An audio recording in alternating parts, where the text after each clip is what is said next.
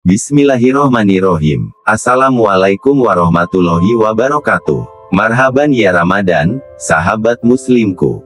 Dalam suasana bulan yang penuh berkah ini, marilah kita sama-sama merenungkan kisah inspiratif seorang yang mengemban perjalanan yang penuh berliku, dari pernikahan, memeluk Islam, hingga dihadapkan pada berbagai cobaan dan hujatan. Di tengah-tengah liku-liku kehidupan, ada cerita-cerita yang mampu menggetarkan hati dan menginspirasi jiwa. Begitupun dengan perjalanan Stevie Agnesia, seorang yang melalui berbagai fase kehidupan, dari kebahagiaan pernikahan, hingga keputusasaan, lalu menemukan cahaya di jalan Islam. Mari kita simak dengan hati yang lapang dan pikiran yang terbuka. Judul, Perjalanan Stevie Agnesia, dari pernikahan, mualaf dan sempat dihujat.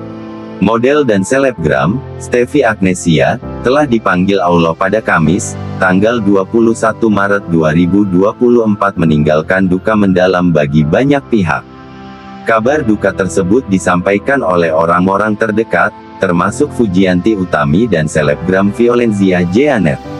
Innalillahi wa inna ilaihi rojiun, telah berpulang ke rahmat Allah Ananda Stevie Agnesia, istri dari Anggi Pratama, tulis Violenzia di akun Instagramnya, pada Jumat, tanggal 22 Maret 2024. Suami almarhumah, Anggi Pratama, juga memberikan pernyataan mengenai kepergiannya, meminta maaf atas segala kesalahan yang mungkin terjadi, baik yang disengaja maupun tidak, dan mengajak semua pihak untuk membuka pintu hati.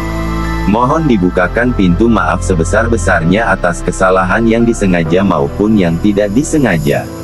Insya Allah akan dimakamkan setelah sholat Jumat, tulis Anggi Pratama. Sebelum menikahi Anggi Pratama, Steviane Agnesia sempat menikah dengan aktor Samuel Rizal, namun pernikahan mereka berakhir dengan perceraian. Kemudian, ia menikah lagi dengan Anggi Pratama, yang memiliki profesi sebagai seorang pilot. Awalnya, hubungan antara Stevie dan Anggi diwarnai oleh perbedaan agama, namun Stevie akhirnya memutuskan untuk memeluk agama suaminya. Pilihan tersebut tidak selalu diterima dengan baik oleh semua orang, bahkan mendapat hujatan dari sebagian publik. Namun, Steviane Agnesia tetap tegar dalam keputusannya dan berharap untuk mendapatkan penghormatan atas pilihannya.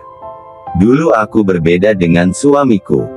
Kami saling menghargai walau saat itu berbeda, tulis Steviane Agnesia dalam salah satu unggahannya di Instagram.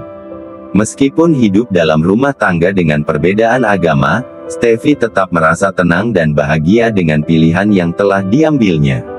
Aku memilih menjadi mualaf karena pilihan hatiku sendiri. Makin ke sini aku makin tenang dan bahagia karena Allah, tutur Steviane Agnesia. Sebelum meninggal, Stevie juga menyampaikan harapannya agar semua yang pernah menghujatnya dapat menghargai keputusannya. Semoga semua yang pernah menghujat, menghargai keputusanku, imbuhnya. Allahu alam bisawaf. Setiap perjalanan hidup memiliki pelajaran yang berharga. Dalam setiap ujian yang dihadapi, terdapat hikmah dan kebijakan Allah yang patut kita syukuri. Melalui kisah Stevie Agnesia, kita diajak untuk selalu memegang teguh iman, meraih hidayah, dan tetap tabah menghadapi segala rintangan. Terima kasih telah menyimak kisah inspiratif ini. Semoga perjalanan hidup Stevie Agnesia menjadi pelajaran bagi kita semua untuk tetap tegar di jalan kebenaran, menjaga iman, dan selalu berusaha mendekatkan diri kepada Allah Subhanahu wa Ta'ala. Jangan lupa untuk selalu mengambil hikmah dari setiap peristiwa yang terjadi dalam hidup kita.